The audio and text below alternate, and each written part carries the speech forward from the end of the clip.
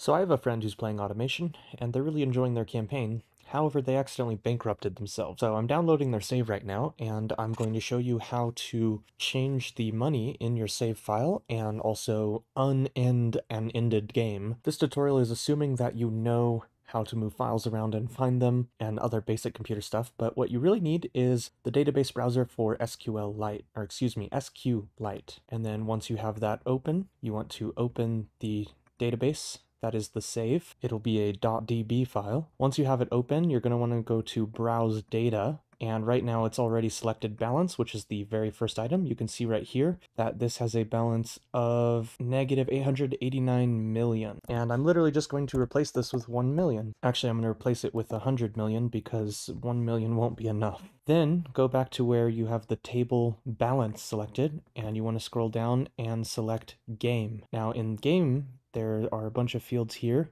and if you scroll to the right, you will find is game finished with the value of 1. Change it to 0, and now you want to click write changes at the top. So now this game is not over, and they have 100 million.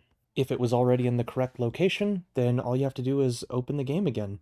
In this case, I have to send it back to my friend.